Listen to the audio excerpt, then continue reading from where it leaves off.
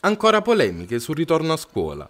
L'incremento dei contagi in Campania solleva di nuovo un polverone sul rientro fra i banchi, con genitori divisi fra chi vuole il ritorno alla didattica a distanza per la sicurezza degli studenti e delle famiglie e chi invece evidenzia i pochi rischi collegati alla presenza a scuola rispetto alle enormi mancanze delle lezioni virtuali.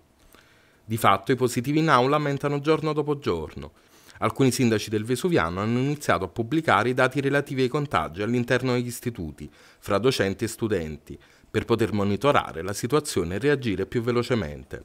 A Portici sono complessivamente 50 i contagiati negli istituti comprensivi e 6 nelle scuole private. Per Ercolano e San Giorgio i sindaci hanno chiesto all'ASL dati più specifici per capire i provvedimenti da adottare. Il sindaco Bonaiuto ha annunciato l'imminente decisione di chiudere tutte le scuole cittadine in attesa di un miglioramento dei dati. Dubbi anche a Torre del Greco, dove ormai si registrano positivi in ogni istituto, fra intere classi messe in quarantena e paura dei cittadini. Al momento però nulla è stato comunicato all'amministrazione comunale. Corrono già i ripari invece i sindaci di Torre Annunziata e Castellammare, che hanno già disposto con ordinanza nella giornata di ieri la sospensione della didattica in presenza almeno fino alla metà del mese di febbraio. In entrambi i comuni la situazione dei contagi è già critica, con picchi altissimi nelle ultime settimane.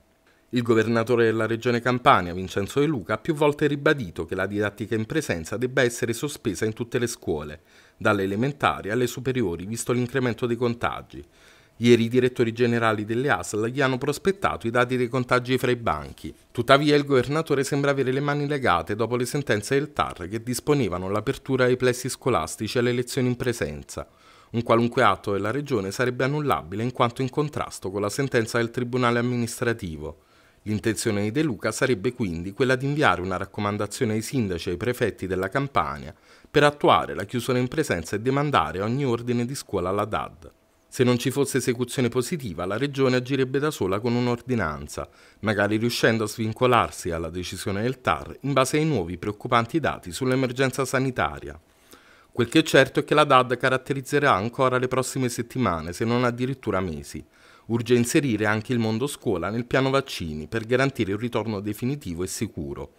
Infatti il Presidente del Consiglio incaricato, Mario Draghi, avrebbe indicato negli insegnanti e nel personale scolastico le categorie prioritarie a cui somministrare i vaccini, ritenendo necessario anche l'aumento dell'uso dei tamponi rapidi tra gli studenti, e quanto riferiscono i gruppi parlamentari che il Premier incaricato sta incontrando.